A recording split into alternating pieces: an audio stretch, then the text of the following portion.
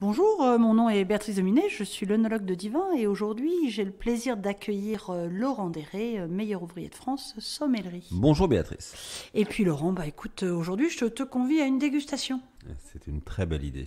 Voilà, et en plus, on va partir loin. On va partir en Argentine et on va même partir en Patagonie. Alors, un petit tour effectivement dans le sud de l'Argentine. Hein. la Patagonie, ce n'est pas la région la plus connue. On connaît beaucoup Mendoza ou même un petit peu Salta, tout au nord de l'appellation, de la, du pays pardon, argentin. Là, on est un peu plus au sud. La Patagonie, c'est une altitude un peu plus faible, un climat un petit peu plus frais et en même temps d'une influence maritime un peu plus océanique, un peu plus marquée. Donc, normalement, on devrait trouver des, des vins avec une certaine fraîcheur, un équilibre un petit peu différent. Et néanmoins, on va être sur le grand cépage argentin. Tout à fait. Le Malbec qui, euh, dans cet assemblage, donc, euh, représente 90%. On est à la Bodega Noemia sur leur cuvée à Lissa, donc 2017. On peut apprécier déjà une robe hein, avec une, une belle profondeur, des, euh, pas, pas, pas, d'une, pas extrêmement sombre, mais néanmoins une, belle profondeur grenade, des reflets légèrement violacés. On voit qu'on est encore sur la jeunesse. Aucun défaut apparent, c'est plutôt très, très attirant comme, euh, comme couleur de vin. Oui, tout à fait. Moi aussi, j'étais sur, vraiment sur ces couleurs-là de grenat. Et au niveau du nez, oui, tu parlais de, fraîcheur. Moi, là, ça me parle complètement. On est sur. Euh, je trouve qu'à la fois des notes de fruits, mais c'est presque encore du fruit frais. On n'est pas sur un côté euh, confit ou confituré. On est aussi sur des notes légèrement un peu euh, mentholées, euh, végétales dans le bon sens du terme, sur ce côté fraîcheur.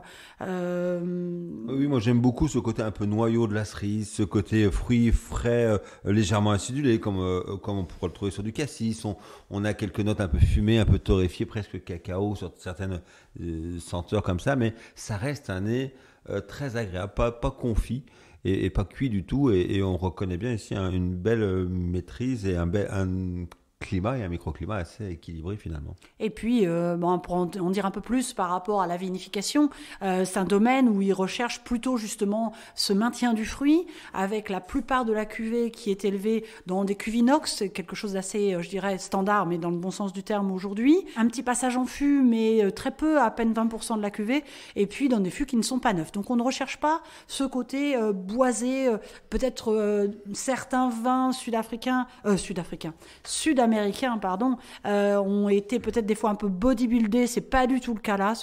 C'est plutôt sur la fraîcheur. Je sais pas en bouche, toi, ce que tu as non, Tout à fait. On est sur un Malbec tout à fait équilibré, au nez comme en bouche. En bouche, l'attaque est fraîche. L'évolution en, milieu de bouche, euh, on a une approche très très délicate, très onctueuse. La matière tannique est finalement euh, présente, mais sans aucune aspérité, sans aucune puissance. On peut pas dire qu'on soit sur un Malbec marqué par la puissance.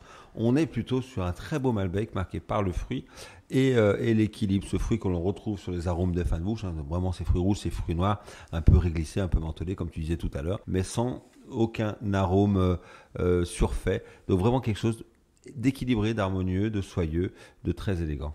Et belle persistance aussi en bouche, hein, ça garde, on l'a, moi je l'ai déjà recraché depuis euh, au moins presque une dizaine de secondes, et je l'ai toujours, et sur ces notes de fraîcheur. Donc c'est intéressant parce que c'est vrai qu'on pense souvent Malbec sur des vins un petit peu euh, étoffés si on pense à nos vins euh, du, sud-ouest, ou là justement sur l'Argentine, et en fait c'est de se dire aussi que suivant la vinification, bien sûr, ce cépage peut nous apporter aussi des cuvées, tout en fraîcheur, tout en élégance, et en même temps avec une très belle persistance.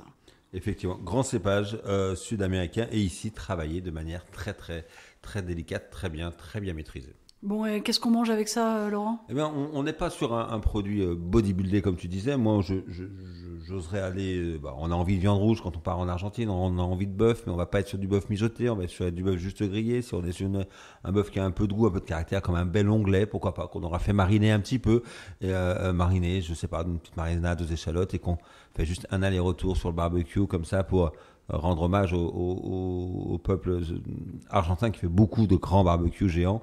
Ça peut être sympathique. J'ai vraiment envie d'aller sur une belle pièce de viande rouge sans grande complication j'ai mm. envie de dire, se faire plaisir avec un vin qui, qui, vient nous offrir cette gourmandise pour accompagner la gourmandise d'une viande euh, simplement bonne. Et si on veut la continuer jusqu'au bout, moi, tu vois, je vois bien un petit plateau de fromage quand même euh, avec ça et terminer une discussion sympa avec des copains autour d'une bonne bouteille comme celle-ci, et puis d'aller euh, picorer dans un plateau de fromage qui accompagnerait bien ce vin, je pense. Oui, c'est un vrai vin de copain, un vrai vin de partage, très accessible au niveau gustatif et en même temps parfaitement équilibré et très bien fait. Ça va plaire aux, plus novices comme aux plus, euh, aux plus pointus des dégustateurs. Bon, bah écoute, euh, moi je sais pas pour toi, mais ça m'a donné faim, donc je vous dis bon appétit ou bon courage pour ceux dont le repas est encore loin, et à très vite. À bientôt.